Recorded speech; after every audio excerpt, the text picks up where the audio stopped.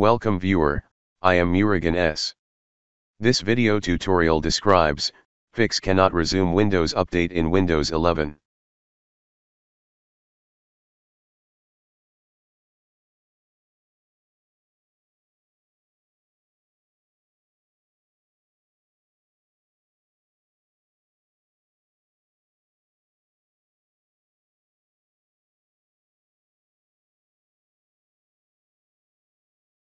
Type regedit in Windows search bar, right-click Run as administrator.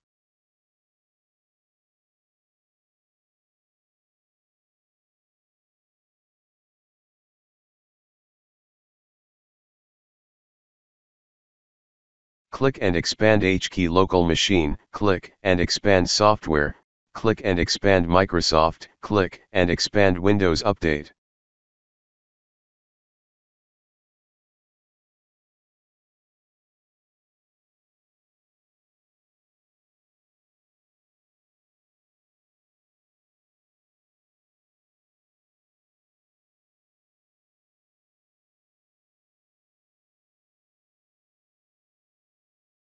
Click and expand Update Policy, click Settings.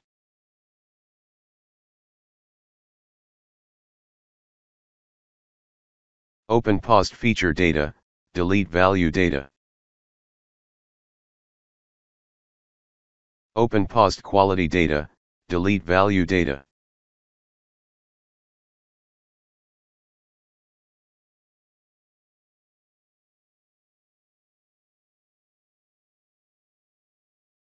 Click and expand UX, click Settings.